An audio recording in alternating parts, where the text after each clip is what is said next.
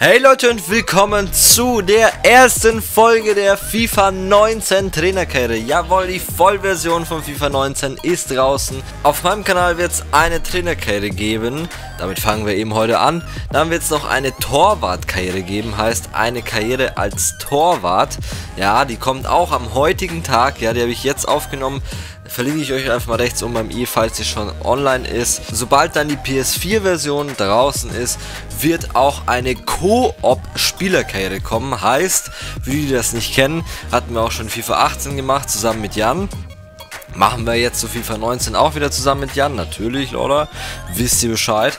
Ähm, das ist eine Karriere, wo wir uns beide unseren eigenen Spieler erstellen und dann eben ja eine Spielerkarriere quasi zusammen in einem Club machen. Ähm, ja, seid auf jeden Fall gespannt. Abonnieren lohnt sich. Für die, die neu auf meinem Kanal sind, würde ich mich natürlich freuen. Ist freiwillig, ist kostenlos. Und äh, ja, wie gesagt, lohnt sich, dann verpasst ihr nichts, denn es kommen ganz, ganz viele coole Sachen auf meinem Kanal.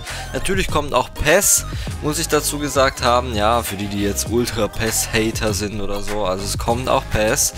Äh, verlinke ich einfach mal rechts oben im i die Trainerkarriere. Es gibt auch eine Verteidigerkarriere in PES und eben auch eine Trainerkarriere. So, jetzt äh, labern wir aber nicht lang rum, sondern starten hier diese Trainerkarriere in FIFA 19. Ja, die Vollversion ist draußen, zumindest für mich, da ich bei Origin bin und ähm, ja, aufgrund deiner Fortschritte in der FIFA 18 Karriere hast du Anspruch auf volle Verbesserung, bla blub. Aber das machen wir nicht, wir nehmen auf jeden Fall keine Verbesserungen hier mit. Lädt Aktualisierung herunter, das ist ganz geil. Ich werde euch jetzt einfach mal sagen, ich habe lange überlegt. Ich habe echt lange überlegt, zu welchem Verein ich gehen soll in der Trainerkarriere, ja. Letztes Jahr war es ein äh, Drittligist, es war Hansa Rostock. Dieses Jahr, aufgrund der neuen Lizenzen, wird es eine Mannschaft aus der La Liga sein, ja. Die La Liga ist ja jetzt voll lizenziert, komplett dabei und äh, mit allen Stadien und bla bla bla. Außer eben das äh, Camp Nou von Barcelona, das ist ja bei PES. Ähm, ja, und dann habe ich mir überlegt, hey, machst du mal äh, eine Karriere in der spanischen Liga, ja, und wir werden zu dem FC Sevilla gehen. Ja, das habe ich mir jetzt einfach mal überlegt. Also nicht von ja, ganz unten bis nach oben arbeiten, ja, das machen wir dieses Mal nicht. Äh, das hatten wir, wie gesagt, schon letztes Jahr bei FIFA 18. Ähm, dieses Jahr werden wir bei FC Sevilla starten. Ist ja auch kein Top-Verein, sage ich jetzt mal, ist halt ein guter Verein. Aber ähm, ja, ich weiß nicht, die spielen, spielen die Champions League oder Europa League, weiß ich gar nicht. Aber auf jeden Fall eines der Wettbewerbe spielen sie bestimmt. Also wenn sie äh, wenn sie die Champions League nicht spielen, dann spielen sie Europa League, denke ich. Und da können wir die ganzen neuen Layouts mal sehen. Und äh, das ist einfach ganz cool, finde ich, da mal die neuen Stadien zu sehen. Nicht immer zu gewinnen mit Sevilla, weil es ist ja so eine Mannschaft, die vielleicht nicht unbedingt immer gewinnt. Aber ähm, es ist halt eben so eine Mannschaft, die schon ganz gut ist. Und äh, ja, wir nehmen hier diesen Typen, würde jetzt einfach mal sagen, in... Äh, Hemd und Schlips. Ja, es gibt leider noch immer keinen Editor wie in PES. Finde ich eigentlich immer viel, viel geiler, wenn man dann seinen komplett eigenen, äh, ja, Charakter einfach erstellen kann, so wie man es in der Spielerkette auch machen kann. Wäre es voll cool, wenn man das halt auch hier könnte, aber äh, ja, kann man halt nicht. So, wir heißen natürlich äh, Michael Mike. Ähm, letztes Jahr, weiß ich gar nicht, wir haben da so einen bescheuerten Namen gehabt, aber dieses Mal machen wir einfach Michael Mike. Ist auf jeden Fall geil und wir kommen aus Deutschland. So, dann hier, das ist tatsächlich ein neues Layout, das andere war ein bisschen anders. Sieht ein bisschen cooler aus hier jetzt. So, Schwierigkeit. Ah, es gibt natürlich bis ultimativ jetzt alles. Das letzte Jahr habe ich mich mit Legende einfach getan, aber wir lassen es erstmal auf Weltklasse. In der Demo habe ich auf Weltklasse ja, das ein oder andere Mal gewonnen, aber auch oft verloren. Deswegen lassen wir es einfach mal auf Weltklasse. Und wenn ich merke, ja, das äh, kann ich auf jeden Fall hochstellen, dann stelle ich das hoch. Aber für den Anfang auf Weltklasse, 6 Minuten pro Halbzeit ist super. Euro ist super. Europapokal ist natürlich hier aktiviert. Transferfenster, das erste Sommertransferfenster würde ich mal deaktivieren. Das finde ich einfach doof. Ähm, Wähle, welche Teamversion verwendet werden soll. Ursprüngliche Mannschaften, aktuelle Teams, natürlich aktuelle Teams. Ja, Stadion ist dabei, mega cool und das würde ich sagen, starten wir rein hier. Mike ist bereit, den FC Sevilla in Sturm zu nehmen. Äh, das wird sehr interessant. So, Glückwunsch Herr Mike, das klingt ziemlich behindert, aber naja. FC Sevilla wurde zu einem Vorbereitungsturnier, bla bla bla, ja, nehmen wir an. Ähm, Vorbereitungsturnier würde ich schon gerne machen, denn ich habe noch kein einziges Spiel in äh, FIFA 19 gemacht. Ja, in der Demo schon, aber ich habe noch kein einziges hier äh, im, im, richtigen Spiel gemacht. Und äh, ja, wir gehen einfach mal hier in die, in die Gruppe hier. Kriegt man immer noch gut Geld. Und das sind dann doch ein paar andere Teams hier mit AS Rom und Köln. Das geht auf jeden Fall noch klar. Und hier haben wir jetzt diese neue Animation. Das ist cool. Sehen wir jetzt... Wir sehen nur dieses eine, ne? Ja, okay. Okay, man sieht tatsächlich nur dieses eine Dingens da. Also Champions League wurde ausgelost. Schade, dass man das nicht mit jedem sieht. Das finde ich echt schade. Gruppe A haben wir Barcelona, Dortmund, Brügge, bla bla bla. Hilfe, das geht so schnell. Sind wir irgendwie dabei? Ich habe keine Ahnung. Ihr könnt natürlich, Leute, könnt ihr gerne Vorschläge reinschreiben für äh, Spieler, welche Spieler ich mir holen soll. Auch irgendwelche anderen Tipps, Leute. Immer wenn ihr Tipps habt, Schreibt einfach äh, einen Kommentar. Ich lese das auf jeden Fall alles. Also, äh, das ist überhaupt kein Problem. Okay, das sieht extrem cool aus. Man kann hier jetzt durchswitchen. Hier die Gruppen von dem Vorbereitungsturnier.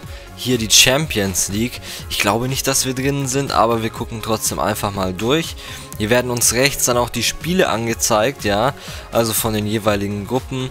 Äh, wer da gegen wen spielt, wird uns alles schön angezeigt. Das ist mega, mega cool. Das feiere ich auf jeden Fall. Also in der Champions League, soweit ich das gesehen habe, sind wir nicht drin. Europa League vielleicht? Okay, wir sind auch nicht in der Europa League. Das ist ein weiteres cooles Ziel. Habe ich nicht gewusst, tut mir leid, Leute.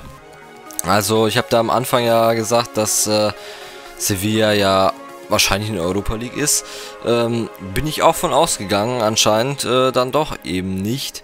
Äh, wir sind hier in irgendeinem Finale vom Super Supercopa, ja. Ähm, Hauptsache irgendwie äh, Austria Wien spielt bei äh, in der Europa League mit, aber Sevilla nicht. Ja, machst du nix.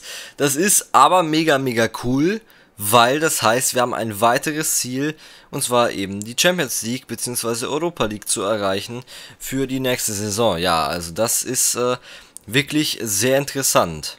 Habe ich tatsächlich nicht gewusst, aber das heißt, wir dürfen dieses Jahr auf jeden Fall die La Liga genießen und äh, wir hasseln da auf jeden Fall gut durch, denke ich. Ähm, wir werden, Trainerkette-Videos werden schon definitiv genug kommen, damit hier gleich zweite Saison, wisst ihr Bescheid. Und dann äh, geht das auf jeden Fall los ähm, mit der Europa League. Also wie gesagt, das werde ich auf jeden Fall in Angriff nehmen. Habe ich tatsächlich auch nicht gewusst. Das tut mir jetzt ein bisschen leid, aber das macht überhaupt nichts. Ich habe immer noch genauso viel Bock. Wie gesagt, dranbleiben lohnt sich. Äh, irgendwann sind wir dann auf jeden Fall in der Europa League bzw. Champions League. Das ist unsere Mannschaft. Wir lassen die jetzt einfach mal so und spielen das allererste Spiel gegen AS Rom. Dann können wir mal gucken, wie uns das so gefällt, wie wir das verändern. Und äh, ja, vom Schwierigkeitsgrad her, keine Ahnung. Wir starten einfach rein. Let's go. So, da haben wir das erste Spiel gegen AS Rom. Eine gute Mannschaft, muss man sagen, ja. Ähm, die Fans sind ultra laut. Boah, Junge. Alter. Ich muss die auf jeden Fall ein bisschen runterstellen. Für euch sind die, glaube ich, immer noch genau gleich laut. Okay. Bisschen runtergestellt. Ähm, ja. Zwei Spiele übrigens immer pro Folge, wer das noch nicht kennt. Also zwei Spiele pro Folge, das mache ich immer so. Auch natürlich in der Torwartkette. Mal gucken, in welchem Club wir da sind. Das will ich noch nicht verraten aber es ist auf jeden Fall was Deutsches. Erste Liga, zweite, dritte, verrate ich nicht, aber äh, guckt da wie gesagt unbedingt vorbei. Ähm, ja, wir haben den Trainer jetzt einfach mal ausgestellt. Dieses Time Finishing will ich aber nochmal anstellen. Das habe ich äh, gerade vergessen. Das stelle ich gleich nochmal an, dass es diesen Balken anzeigt, sobald ich das Time Finishing probiere. Ähm, ja, und dann gucken wir uns den Rest einfach mal an. Ich lebe mich mal so ein bisschen ins Team ein. Dafür ist das Vorbereitungsturnier ja auch gedacht. Ich werde jetzt kein absoluter Profi sein, die ersten paar Spiele. Ähm, aber sobald wir dann eben in die Liga reinstarten, wollen wir natürlich dann richtig gut spielen. Äh, deswegen, ja, Vorbereitungsturnier. Let's go. Oh, erste gute Chance für Rom. Ähm, wer mein Feedback zu FIFA 19 hören will, ich verlinke euch das Video auch, wenn man rechts oben am i. Äh, da habe ich mein Feedback abgegeben zu FIFA 19. Äh, das war das erste Mal Demo spielen quasi. Ja, wenn ich da noch ein paar neue Meinungen habe, werde ich das natürlich im Laufe des Let's Plays immer wieder äh, erwähnen, falls mir da was positiv bzw. negativ auffällt. Aber was ich noch sagen kann, das haben auch ein paar Leute geschrieben, da stimme ich auf jeden Fall zu dass es wirklich hektisch ist. Ja, das muss man sagen. Schade, das hätte was werden können. Ähm, also hektisch trifft es echt gut. Hektisch trifft FIFA echt gut. FIFA ist das Gameplay einfach zu schnell und in PES ist es... Ja, ich finde es in PES eigentlich ganz gut. Also ich finde es gar nicht zu langsam in PES. Also in PES finde ich das Gameplay ganz geil. So von der Schnelligkeit. Also hier ist echt hektisch. Aber macht trotzdem Bock. Wow, der hat mich übelst gestreckt. Elf Meter. Junge, die Fans, Alter. Meine Ohren, was ist das? Voll der komische Sound, finde ich. Keine Ahnung, ob das... An was das gerade liegt. Aber er hat mich übelst gestreckt. Elfmeter. Der allererste Elfmeter in FIFA 19. Ich habe in der Demo keinen einzigen geschossen. Und, äh... Ja, aber sollte sich ja zu FIFA 18 nicht viel verändert haben. Hat sich scheinbar auch nicht. 1 zu 0. Yes. 1 zu 0 durch den Elfmeter. Banega hat's gemacht. Ja, was soll ich sagen? Was soll ich sagen? Bisher, ich weiß nicht, ob es verdient ist oder nicht. Ich kann es nicht genau definieren. Also, ja. Ha. Also AS Rom hatte schon Chancen, auf jeden Fall, auch gute Chancen. Aber äh, wir auch. Wir durchaus auch. Und das wäre echt eine hundertprozentige gewesen. Klar, ich hätte sie wahrscheinlich vergeigt mit dem neuen Schusssystem und so. Aber es wäre echt eine super Chance. Und äh, ja, da geht der Elfmeter auf jeden Fall klar. Kann das hier bitte mal weggehen? Was ist das denn schon wieder für ein Bug? Dankeschön. Oh, der Torwart hält diese Riesenchance, weil ich einfach scheiße bin. Mann, ich will, ich mache den Flachschuss sehr gerne. Ich habe den auch zu FIFA 18 voll aufgemacht. Und dass ich den jetzt irgendwie komplett kompliziert machen muss, das ist für mich ultra die Umstellung. Man muss ja, muss ja R1 und L1 und dann schießen. Das ist für mich komplett RIP. Und äh, ja, deswegen verkacke ich oft die Flachschüsse und die anderen Schüsse sowieso. Aber ja, 11 Meter, 1 zu 0 geht auf jeden Fall klar, weil den hätte man jetzt auch machen können. Dann wäre schon 2-0, beziehungsweise wenn ich den 11er verkackt hätte oder gar nicht bekommen hätte. Ja, vielleicht wäre das dann hier das 1-0. Also ihr wisst, was ich meine. Geht in Ordnung, das wollte ich einfach damit sagen. Und äh, ja, mal gucken. Hoffentlich verspielen wir das in der zweiten Hälfte nicht, sondern legen einfach einen noch oben drauf. Oh, was war das denn wieder für eine Scheiße? Ne, ist gerade nicht passiert, oder? Ey, ja, kommt der Ball in die Mitte. Und dann grätscht der De Rossi hier nochmal mit rein. Dadurch kriegt, ja, sonst hätte ich geschossen. Also De Rossi hat hier den Ball getroffen. Sonst hätte meiner geschossen und wahrscheinlich auch ein Tor gemacht. Der Rossi hat gegen seinen Torwart gespielt und dann Latte und der Torwart haut ihn weg. The fuck, Alter. Oh, das kann nicht zählen. Das ist ein Abseitstor, ja. Das stimmt auch. AS Rom jetzt mit viel mehr Ballbesitz. Die geben richtig Gas. Wechseln tun wir nicht, weil diese Schnellwechsel ultra scheiße sind immer. Finde ich im PES viel besser gelöst, dass man das selber auswählen kann. Ähm, ja, also AS Rom, die machen richtig Druck, haben richtig viel Ballbesitz jetzt gewonnen. Ähm, aber Sie sind noch nie zu einer krassen Chance gekommen. Nur jetzt gerade eben, aber zum Glück abseits. Jetzt müssen wir mal wieder zu einer krassen Chance kommen. Komm, das ist doch gar keine schlechte Voraussetzung, wenn man da hätte weiterrennen können. Das hat leider nicht mehr geklappt und jetzt den Ball verspielt. Ich bin echt absolut kacke noch. Oh, Alter. Okay, jetzt haben wir ein bisschen Glück. Okay. FIFA ist altmodisch, man muss hier rausgehen. Die Schnellwechsel waren, ja, gab es zu FIFA 18 schon, zu PES 18 nicht. Aber sie sind deutlich besser in PES jetzt als in FIFA. Das äh, ist leider so. Naja, wir wechseln jetzt trotzdem einfach mal. Wir haben keinen LM mitgenommen. Also da haben wir sowieso ein bisschen... Wir müssen eine andere Formation wählen. Da haben wir eine Schwäche, weil wir haben für die Formation sind wir nicht gut ausgerüstet. Ja, wir müssen jetzt einfach ihn hier reinpacken. Hat mir FIFA ja auch vorgeschlagen. Und ihn packen wir in die Innenverteidigung hier. Also Formation würde ich eine andere äh, wählen. Und in den Taktiken dann noch ein bisschen was einstellen. Ich habe jetzt auch mal auf sehr defensiv gerade gestellt. Weil die letzten 10 Minuten und alles rum macht richtig Druck. Heieiei. Oh, krass. Okay, wir haben richtig Schwein. In diesem Spiel hatten wir richtig Schwein. Das 1 zu 0 durch einen Elfer gemacht. Ein Abseitstor von AS Rom. Einmal Latte. Und wir gewinnen das Ganze mit 1 zu 0. Ha! Das war nur Glück, muss ich ganz ehrlich sagen. Klar, wir hatten die eine oder andere Chance, die eine oder andere gefährliche.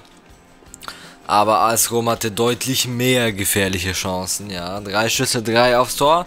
AS Rom hatte zehn Schüsse, aber auch nur drei aufs Tor. Aber im Großen und Ganzen muss ich zugeben, dass AS Rom besser war. Auch wenn nur ein ganz kleines bisschen, aber sie waren besser. Äh, ja, hat trotzdem nicht gereicht. Wir haben gewonnen. So läuft das, ne? So, wir verändern jetzt ein bisschen was hier an der Aufstellung, ja, für die Standard...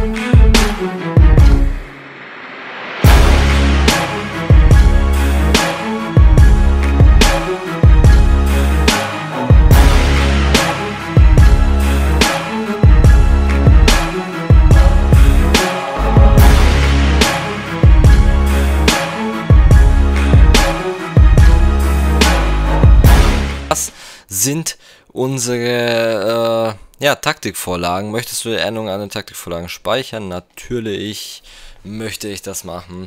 Und dann würde ich sagen, starten wir direkt unser zweites Spiel gegen den ersten FC Köln. So, zweites Spiel. Es regnet leider ein bisschen.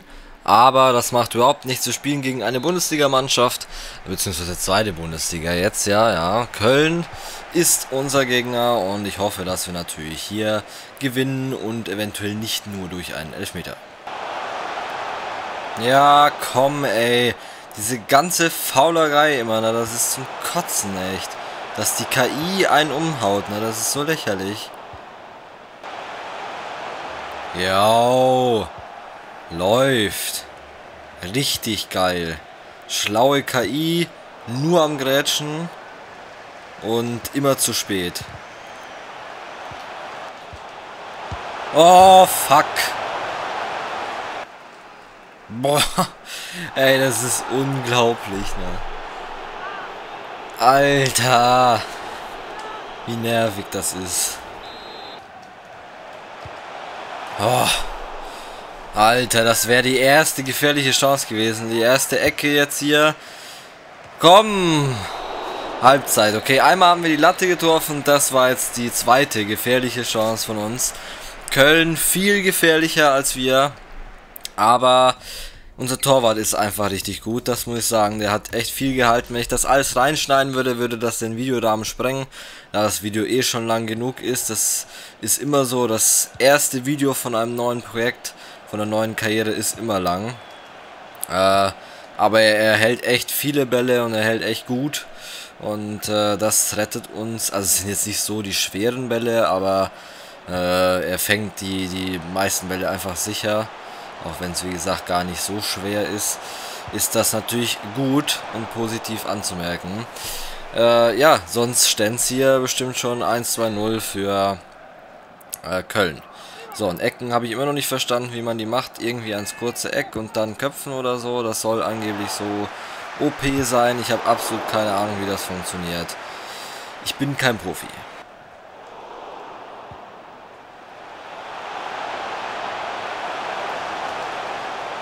Jawohl, was für ein Scheiß-Tor.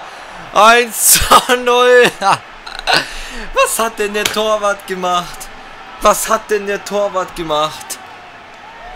Was für ein Scheiß. Wir haben so ein Glück. Wir haben so ein Glück.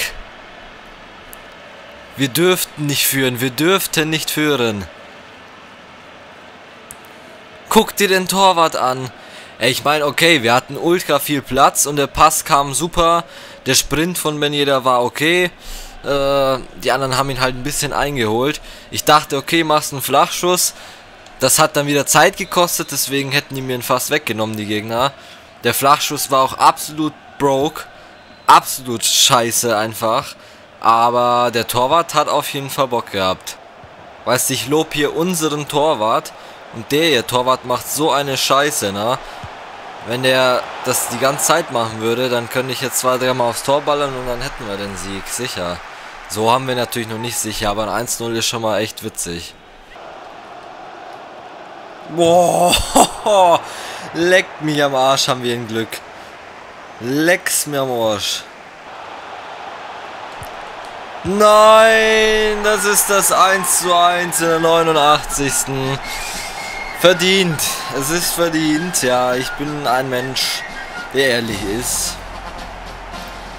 Was äh, mein Torwart da gemacht hat, warum ich den rausgeholt habe, fragt mich nicht. Der war aus Hektik anscheinend einfach auf die Taste gehalten.